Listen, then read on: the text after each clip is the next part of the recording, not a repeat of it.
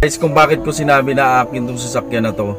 Dahil naniniwala ako sa kasabihan na batas ng pang-aakit. Kung ano yung pumasok sa isipan mo, kung ano yung naiisip mo, yun ay magiging salita. At yung salita na yun ay yun ay magiging gawa. At yung gawa na yun ay yun ay magiging totoo in the future.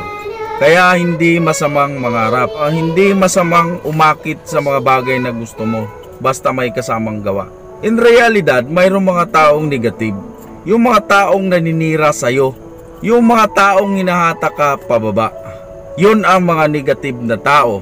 Hayaan mo sila kung ikaw ay patuloy na sinisiraan. Dahil hanggang sa pagtanda nila, andun pa rin sila patuloy naninira sa'yo. Yun yung mga taong crab mentality.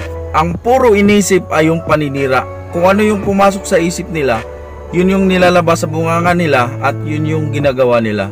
Kaya hanggang sa pagtanda nila, ganon at ganon pa rin ang gagawin nila. Pag may makita silang nag-successful, pag may makita silang umangat, hahatakin, hahatakin nila ito pababa. Walang mangyayari sa mga taong negative, sa mga tao naninira, sa mga taong crab mentality hanggang sa pagtanda, ganyan ka pa rin. Huwag kang magpapigil sa mga taong negative, sa mga taong naninira sa iyo. Kaya hayaan mo yung mga tao na naninira sa iyo. Ipagpatuloy mo lang yan kahit sino ka man. Dahil alam mo kung bakit sila naninira.